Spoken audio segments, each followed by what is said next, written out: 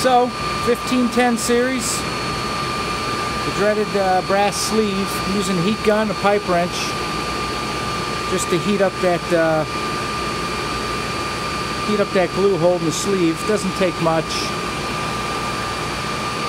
And I use my uh, socket set here and just kind of run the pipe wrench into it. And it seems to be working. Gotta reset this wrench. Ah, oh, fail.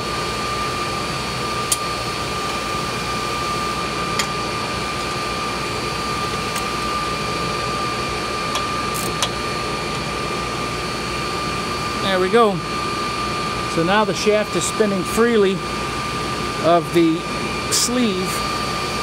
I keep rotating.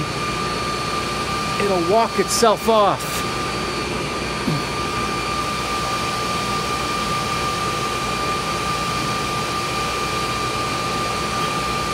I kind of angle to pull the wrench towards me a little bit too.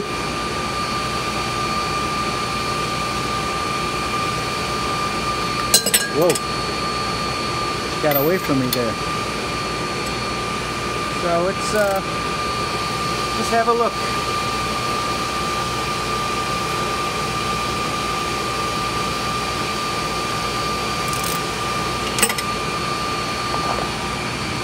And that how you remove a sleeve from there.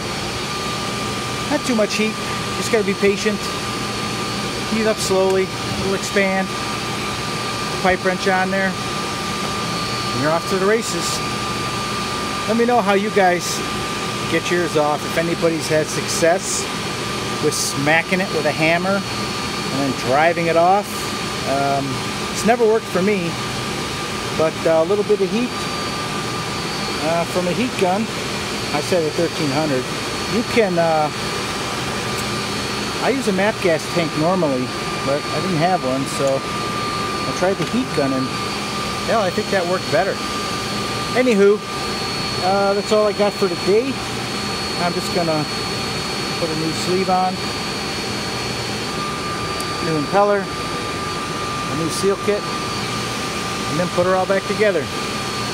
Alright, thanks for watching. Bye.